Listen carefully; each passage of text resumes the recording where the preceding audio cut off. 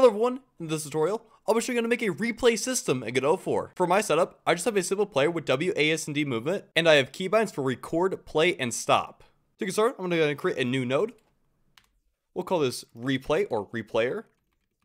I'm going to add a script to that. We can delete these two main functions. So the way that we're going to record everything is about every 0.1 seconds or so, we're going to take a snapshot of all the objects that we want to record. So let's create a simple array that will hold all of those objects. So at export, variable recorded objects. We'll set this to be an array. And since we're working in 2D, we'll do node 2D. We also want a variable for how many frames of animation we have. So variable frames, set this to be zero. We want our recording data. So variable recording data. So this to be a blank dictionary. And also if we're recording or not, recording gets false. Now we want our two functions for recording and playing. So function record and our function for play. Now, if we try recording every single frame, it will just crash the game. So to prevent this, we're going to add in a timer node. This should be a delay. I'm going to set this to be about 0.1 uh, physics. And we also need to reference it inside of our script, so control drag over that. Now in a recording function, we're going to be looping over all the recorded objects and taking its current data for the current frame. So for RO in recorded objects dot size, since we're going to need the actual index of each of the recorded objects, that's because if RO equals zero, we need to initialize the current frame in the recording data. So recording data frames gets a blank dictionary. Now let's get the current object that we're recording. So variable current object gets recorded objects RO. Then we'll go and set the recording data. So recording data with the current frame that we're on and current object dot name. Set this to be position with the current object dot global position. Now you can also add stuff like rotation and scale, but I'll let you do that on your own. Now after the for loop, we need to increment our frames by one and also call delay.start. And delay at start, if we are recording, call the record function. And one last thing at the top of our recording function, if we are not recording, we need to stop the delay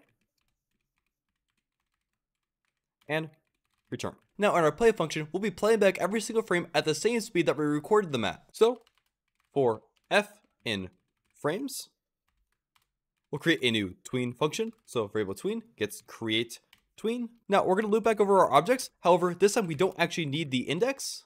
So just recorded objects and not getting in the size. We'll first check if this is the first frame. So F0.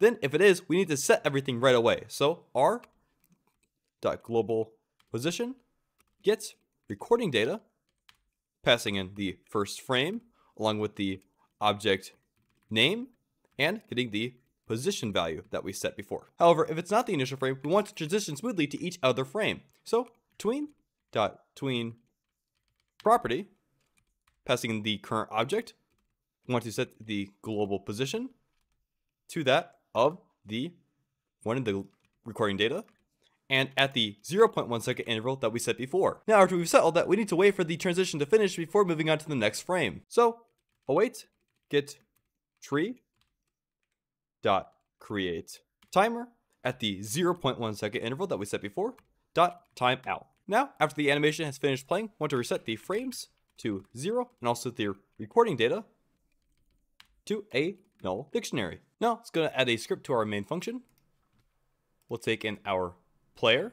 We don't need these two functions. We'll create a simple input event function. So input event if event dot is action pressed record.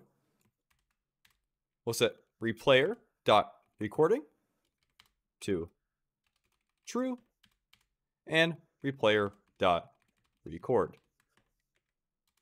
Now, if event dot is action pressed stop replayer dot recording gets false. Since we actually need to trigger the stop, we need to also call replayer dot record. And finally, if event dot is action pressed play, we will call replayer dot. Now, one final thing we need to do is instead of a replayer, we need to add in the objects we want to record. So we'll add in the player and any other objects you want to record. And now if we press play and we press the record button, then we can move around our player. And if we press the stop button and then press the play button, you'll see that it will go back to the initial position and play the animation. And just to demonstrate multiple objects, I've gone ahead and added in a second player that has different inputs and added it to our objects array. Now, if we press play and we record, we can move our individual players just like so, and then stop, and then replay, and you'll see that both objects are affected. Anyways, guys, I hope you found this story helpful. If you have any questions or comments, please leave them down below, and don't forget to like and subscribe. Thank you.